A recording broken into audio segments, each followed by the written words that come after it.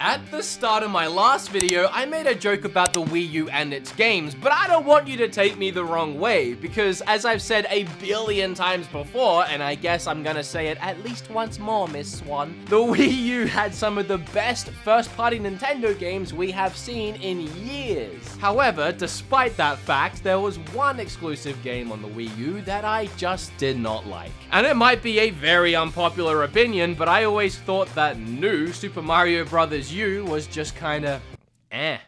It felt like the same game I had just played on the Wii. In fact, it just felt like the same game I had been playing for the last 20 years. Ironically, there was nothing new about it, both then and even now. Which is why I found it really weird that out of all the amazing Wii U games that aren't on the Switch yet, games like Mario Maker, Tokyo Mirage Sessions, Fatal Frame would have been perfect as a Japanese-only release, port it to Switch and make it worldwide, and then there's one game that we're going to get to later in the video video that would have made so much more sense than new Super Mario Bros. U, and yet here we are with yet another $60 Wii U port that ironically didn't really add anything new at all. But before we get started with any of that, I want to thank today's sponsor, Skillshare, because they are allowing me to answer a ton of questions that I get asked every single day on this channel. Questions like, what video editing software do I use? Where did I learn graphic design? Well, to start with, I'm editing this video in Adobe Premiere, which you can see right here. And next, for how I learned to actually do all of this, I learned it on my own, slowly and painfully over many years, and it's not something I recommend.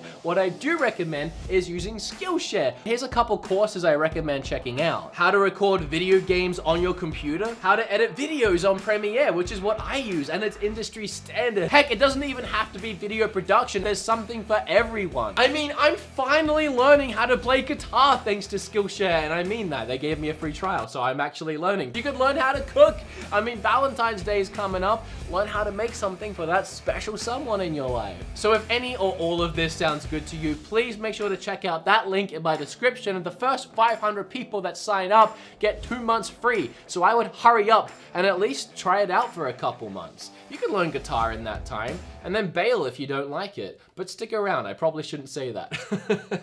Once again, I want to thank Skillshare for sponsoring this video, especially in January of all times. And now we can get back to your regularly scheduled programming, which is listening to a 28-year-old man with a full-grown beard complain about a kid's game on the Switch. You sure you want to do what I do?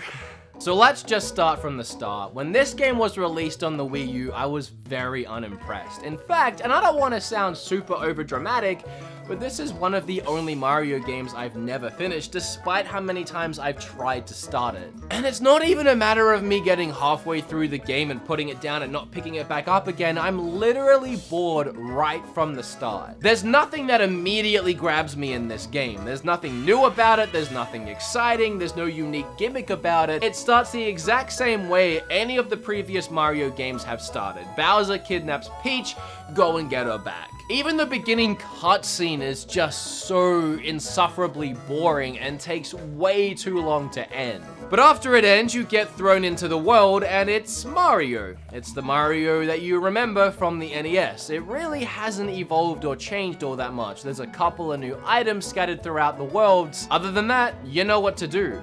Even the way the game looks is very uninspiring. I mean, I think Dunkey put it best in his recent video. Now, I just showed you three levels from Donkey Kong versus one from Mario, right?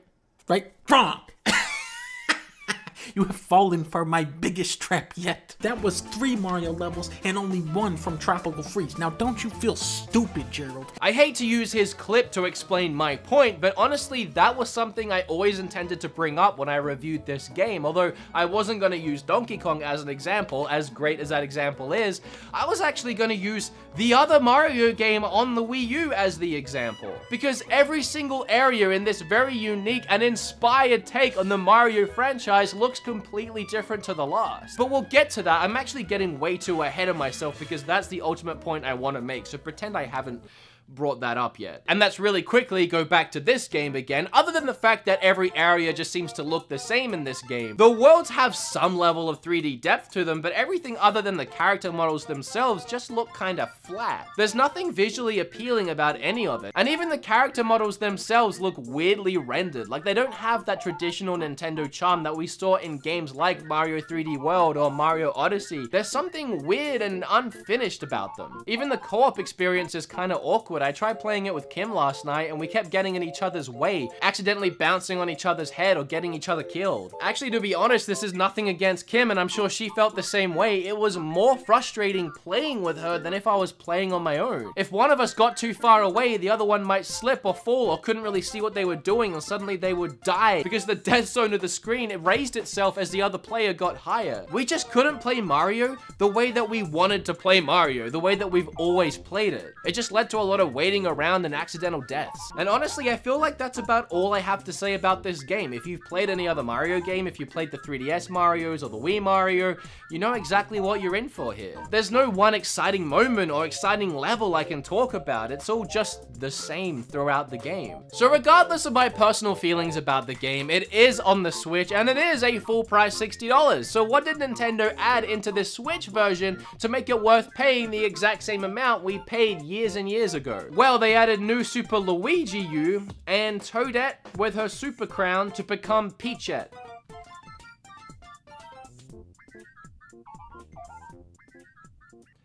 Okay. I mean, Super Luigi U became really expensive due to its low print run, so maybe if you haven't played that, it might be worth it. But Super Luigi U is the same game. You just play as Luigi and the stages are slippery. Cool. But other than that, it's the same old Super Mario, sorry, it's the same old new Super Mario Brothers U. I'm sorry, before we talk about this, can we just for a moment talk about how confusing that new is now? We knew, we knew, man, I'm getting tongue-tied. We knew that this would happen back on the Wii U and the 3DS when everything started getting released as new this and new that. Yeah, it was new at the time, but what's gonna happen in five, six years? And on top of that, it's a double whammy. It features the U from Wii U. That was another thing when the game started coming out, like ZombiU. We were all like, what's gonna happen if you make a sequel? ZombiU 2? What's that gonna look like? Undead Bono? And now you have both. New Super Mario Brothers U. It's not on the Wii U when it's not new, but oh, they put Deluxe with the Joy-Con so you don't get confused. Nintendo just baffles me sometimes. But then, along came this game, which as I said, was a very inspired take on the Mario platformer franchise. Take literally every complaint I had about this game and go ahead and just throw it in the trash because this game did everything I wanted and better. Where games like Mario 64, Mario Galaxy, and Mario Odyssey completely leave behind that 2D platformer genre and gives you brand new exciting Mario worlds to explore, Mario 3D World actually takes that exact 2D platformer world and flips it on its head and gives you something very unique. A traditional Mario game where you're not confined to looking at one camera angle and it is just full of inspiration. And not to mention you get to wear cat suits, which may have been a selling point of the game for me. If Mario Odyssey is at the top of Mario adventure games, then Mario 3D World is at the top of the more traditional Mario platformers. This is the Mario game I wanted out of my, at the time, current gen brand new Nintendo system, not this. This felt like I had something rushed out to the shelves just so I had a Mario game at launch. And unlike Mario Brothers U, this game was gorgeous. Look at the lighting, the textures, the details, and the visual variety is stunning. You're not restricted to the same grassy fields. Almost every single level in Mario 3D World presents some kind of unique or interesting idea or gameplay mechanic for you to explore and just enjoy. And there's so many of them that they never outstay their welcome. You're always experiencing something fresh and something different, whether it's in the visuals, the music, or the gameplay. And it keeps the entire game moving and breathing and flowing, and you just want to keep playing that next level for whatever reason it is that you're enjoying the game just to see what happens in the next one. And I think one of the biggest differences between these two games is that Mario 3D World is unpredictable. You never know what's gonna happen in the very next stage. It could be completely different. You're constantly having to adapt and experience new gameplay mechanics. In Mario Brothers U, there's no excitement or anticipation to getting to that very next world because you know it's gonna be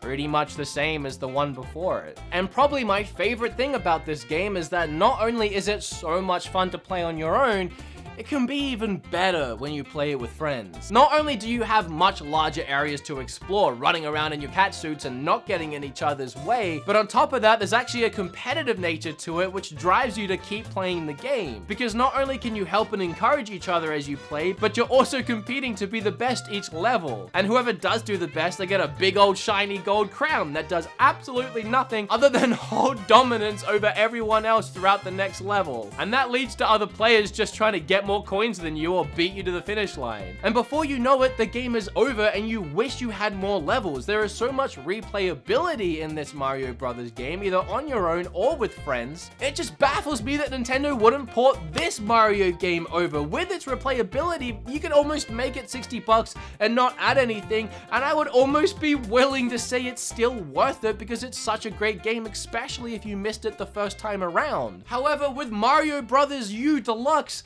I wouldn't even recommend it at 60 bucks if it was your first time playing it because I don't feel like there's 60 bucks worth of content in here. 40 bucks, good deal if you actually enjoy the game. This is worth 60 twice in my opinion. Hey, even if you're mad at me for not loving this game and kind of crapping on it, can we at least agree that this would have been a better port for the Switch and maybe that it's even a better game than this one? I don't know, maybe I'm the only one that doesn't like this game. Maybe there's just something about it that doesn't click with me. Maybe I've just played too many Mario games like this in my life to enjoy another one. But hey, if you like this video or you learned a little something, make sure you hit flip all over that subscribe button. Click or tap on this video right here because I would really appreciate it. And hopefully I was talking about something much happier in that video. And now I'm gonna go eat some cheese and play more Travis Strikes Again.